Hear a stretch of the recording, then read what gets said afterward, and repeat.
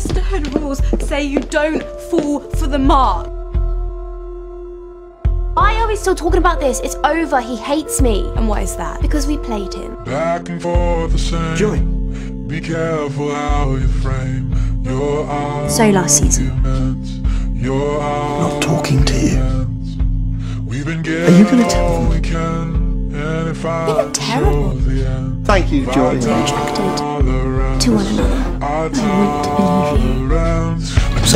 sorry, I can't hear you.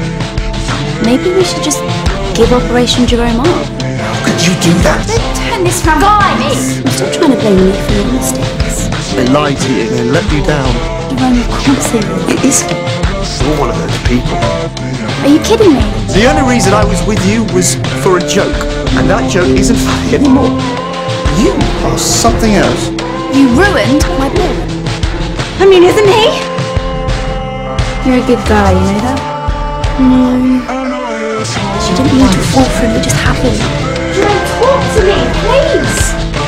Jerome, we need to talk. Let me explain. We should go on a date.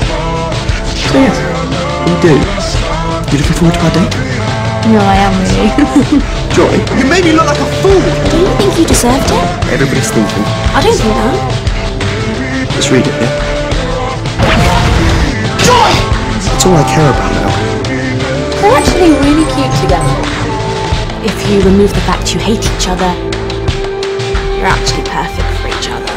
You fell for him. Jerome broke your heart. It's just that sometimes I wish people could see the other side to me as well. Joy really liked you. I see. There will only ever be one girl. You.